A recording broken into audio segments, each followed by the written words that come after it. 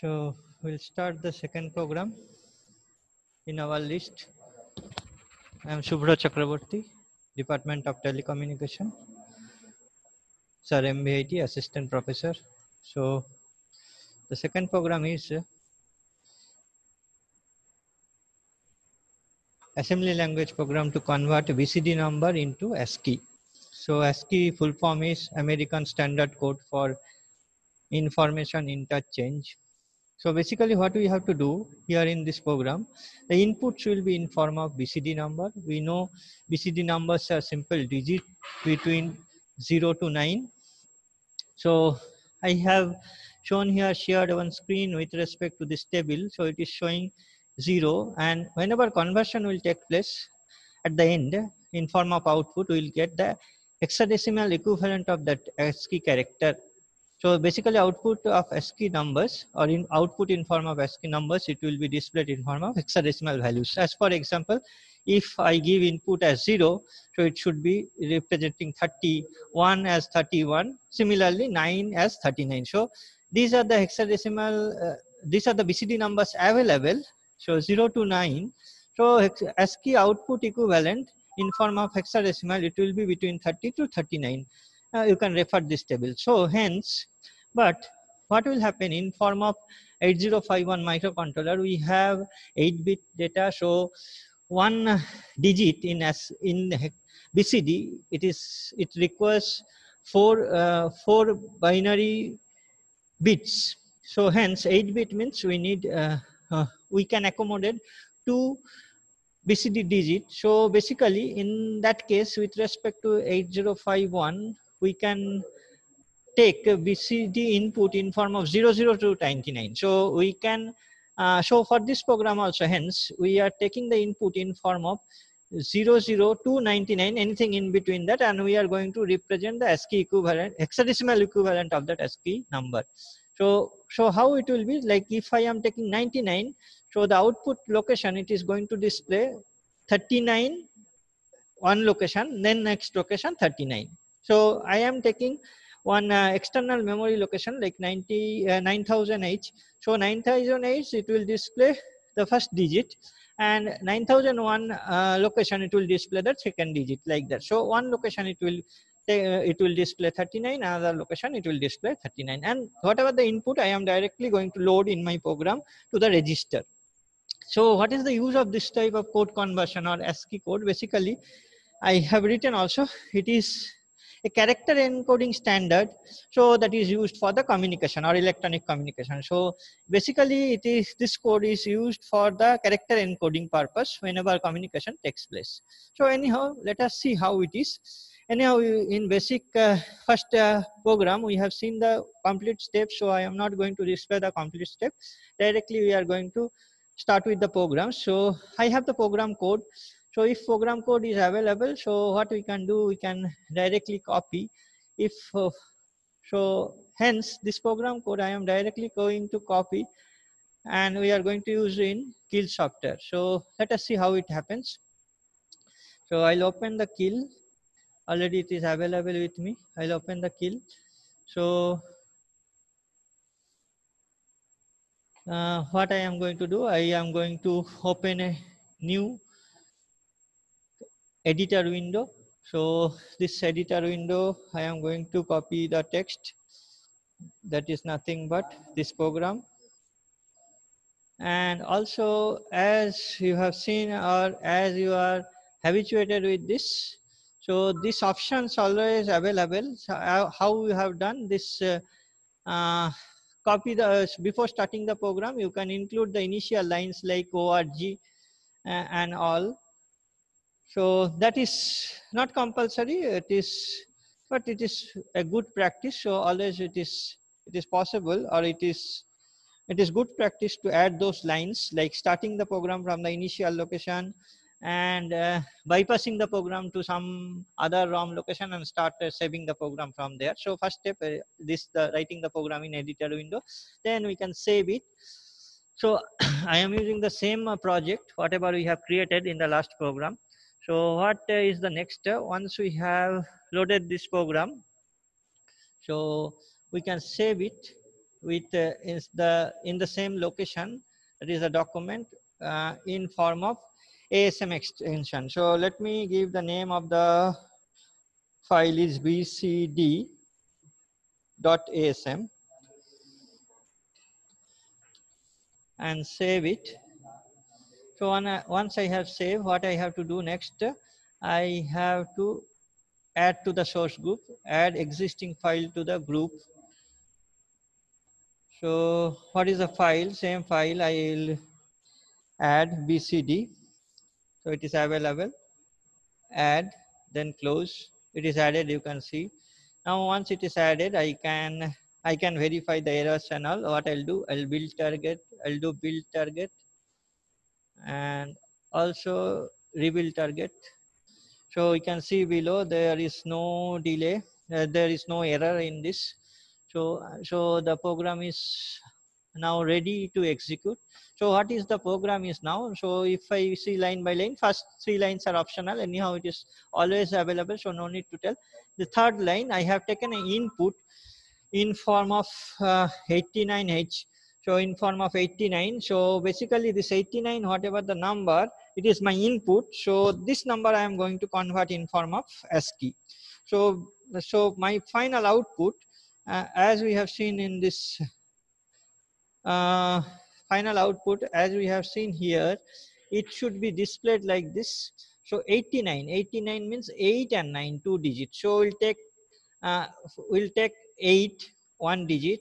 We'll convert this uh, 8 BCD number to ASCII equivalent of that. So it will become 38 and next location so that is 9000 location and another number another digit that is 9 and that is the LSB digit that also should be converted in form of hexadecimal ASCII equivalent, hexadecimal equivalent of the ASCII number and it should be stored in the output next output location 39 so if it is 89 my output should be 38 that is for MSB digit in 9008 location 9000 location and 39 uh, in the next location 9001 so let us see how it is. Now this program whatever i have written already is debugged.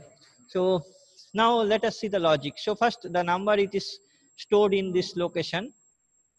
And what i will do so basically this 89 the logic is like this. This 89 number it consists of two digit that is LSB and MSB least significant digit and uh, most significant digit I'll separate both of them. So what I'll do 89 I'll convert in two different uh, I, I, from 89 I'll convert I'll separate 8 and 9 so 18 from 89 I will generate two numbers. One is 08 another one is 09 how it is possible? So what I'll do, so as I am going to change this number that is stored in the input uh, location first in A location, A register. So I, as I am going to separate, I should have a copy. So what I am going to do, first program, uh, next, uh, after loading the input, next uh, line or next instruction, I am going to take a copy of that to R0 register. So R0 register is also 89. Then what I am going to do, I am using the swap instruction, swap A, what you will do, the number it is there in uh, a, a register or accumulator, it is 89, it will swap the nibbles. So it will become 98. Now what I am going to do, as I am going to store the result, final result to uh, external memory location uh, or memory location 9000 hexadecimal. So I am going to, and that should be accessed by DPTR. So I just initialize the DPTR as 9000 then I am going to call a subroutine that will perform this operation. That is, that will perform the conversion. So name of the subroutine is ASCII, ASC double I. So I am going to call the subroutine. So if I call this subroutine, what will happen? Program flow will jump to that level ASCII somewhere else. So in that, what I am going to do, the number it is there in accumulator. So accumulator, the number is there. Uh, initially, it was 89 uh, so after swapping it is 98 so number it is there in accumulator is 98 so this 98 it is 9 and 8 i am going to perform and logical with 0f i am going to perform and logical with 0f. So it, this AND logical operation basically it is bitwise AND logical operation. So if I if I perform with 98 that is there in accumulator uh, with 0f and logical what will happen uh, the lower lower byte sorry lower digit will be as it is and upper digit will become 0 so 98 so in 98 it was 98 now accumulator content will become 08 because upper nibble I am going to mask or I am going to make it 0 as it is ended with 0f so 08 so I have separated the lower digit then what I am going to do? And it is stored in accumulator. Then what I am going to do? I am going to add 30H with that.